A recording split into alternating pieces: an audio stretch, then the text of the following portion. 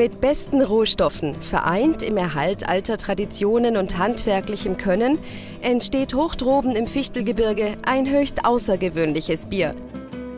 Das Bier der Nacht, anregend und süffig, das Erotikbier der Brauerei Lang in Schönbrunn.